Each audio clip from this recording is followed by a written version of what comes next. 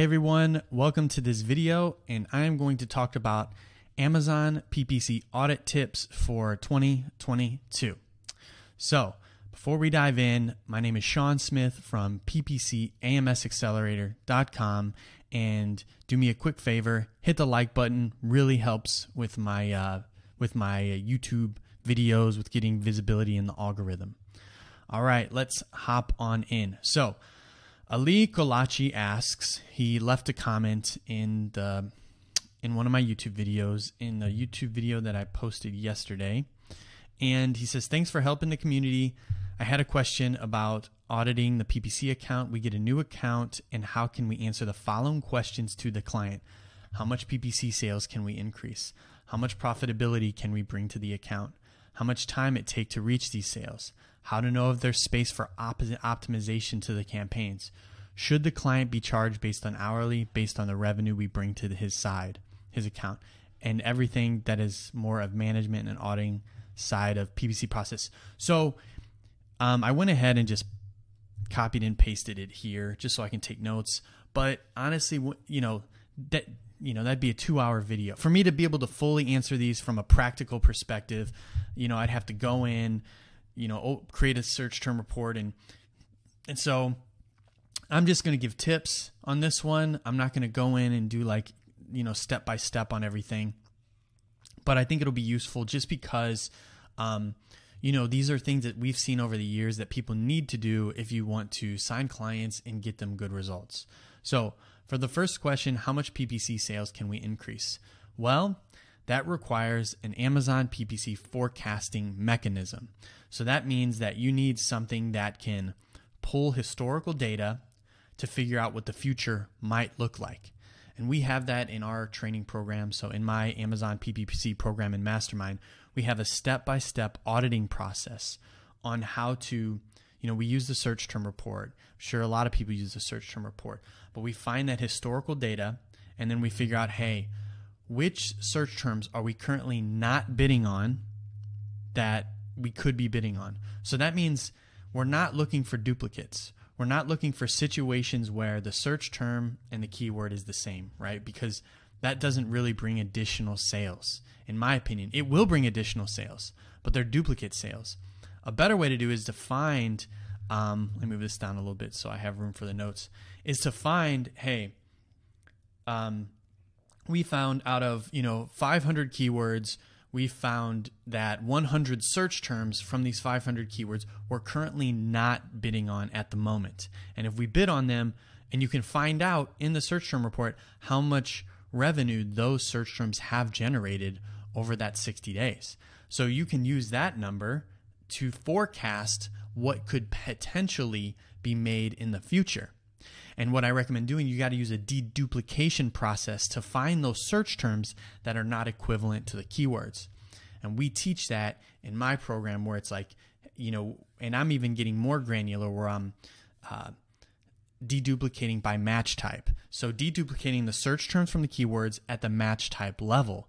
That way we have an even more granular data set of like, hey, you know, we can we found X amount of search terms that generated this many in this match type. So that just gives us some insight into like what can we do. So how many PPC, how much PPC sales can we increase? Forecasting use the search term report, find unique search terms, and then find out how much money those unique search terms have made in the past 60 days. And then you can say, hey, you know, this is what they made in the past 60 days. So this is what we could potentially get.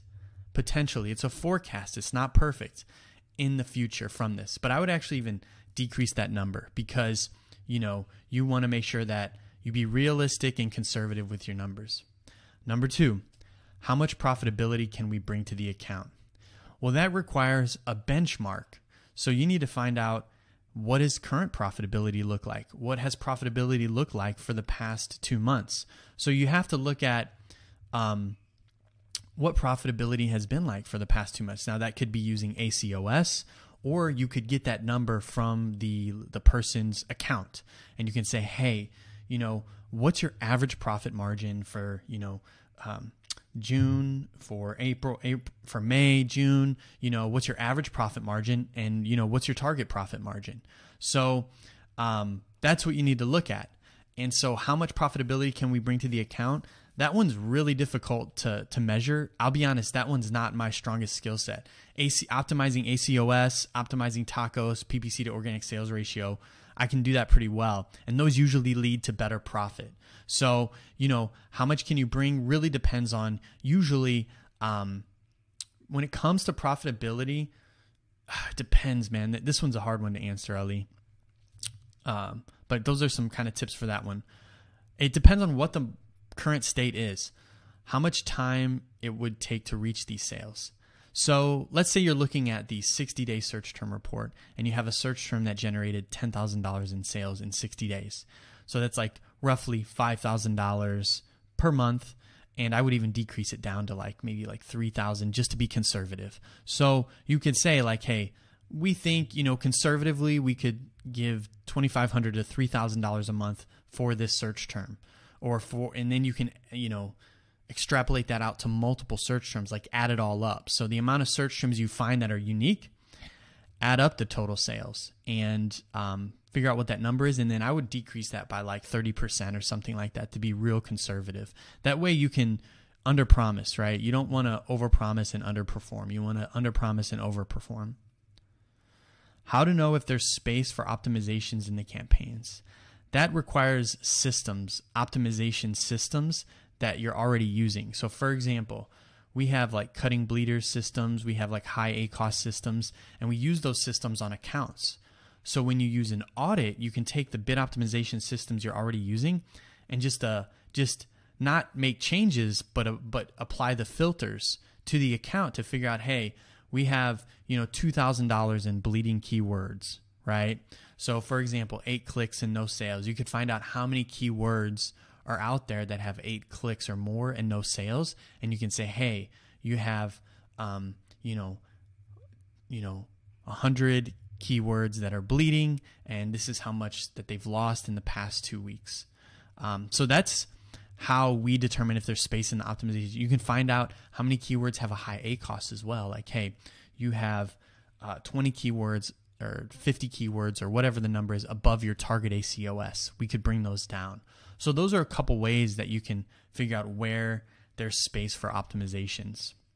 Should the client be charged based on hourly, based on the revenue we bring to his account? I mean, it really depends on where this person, Ali, where you're at in your journey. Um, if you're more of a beginner, I recommend doing a flat fee. So I wouldn't do hourly, I would just do a flat fee. Um, I wouldn't do it based on the revenue you can bring in. I think that taking a p- percentage of sales is more of an advanced strategy. So I would focus on like a flat fee, you know, a fair flat fee. I wouldn't do hourly, I wouldn't do based on the revenue. Just do a flat fee. You know, you get paid X amount per month. And everything that is more of management and auditing side than a PPC processing side. You know, I would say that ultimately like, you know, you want to do phone calls at least monthly you know, for for a client. Um, you want to send weekly reporting. I like to send Loom videos. You know, these are tools that you can use to make sure that you're communicating to the client the results that you're getting for them and they can see kind of what's going on. So I like to use Loom videos because it just communicates much more. All right, Ali, I hope that answers your question. Hope that helps you out. Um, thank you guys so much for watching this video. If you haven't already, click the like button.